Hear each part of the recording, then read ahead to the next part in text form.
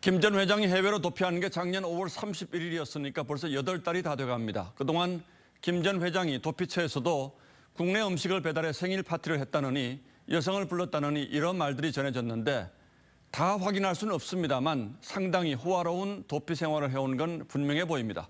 검찰도 그 사실은 확인해주고 있습니다. 그러나 체포 과정 그리고 순순히 국내 송환에 응한 배경에는 여전히 의문점이 많습니다. 서영일 기자가 짚어드리겠습니다.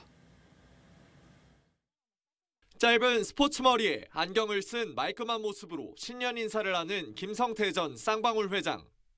태국 골프장에서 검거될 때 모습은 머리는 장발에 흰 수염이 자라 전혀 달랐습니다. 김 전 회장의 8개월 해외 도피는 호화 그 자체였습니다.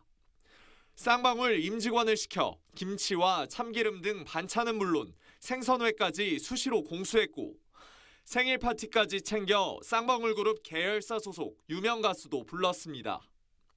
하지만 인터폴 적색 수배로 쫓기는 몸인데다 여권 무효화로 다른 나라로 이동도 못해 장기간 타국살이가 쉽지는 않았던 것으로 보입니다.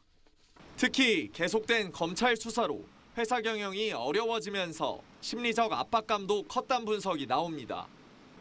더욱이 송환을 거부하며 장기 소송을 벌이면 현지 수용시설에서 지내야 하는데 아무래도 한국보다 열악해 부담이 큰 상황이었습니다.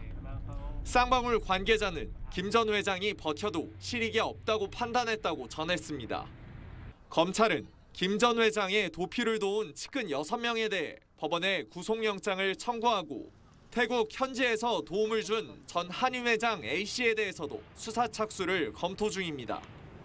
TV조선 서영일입니다.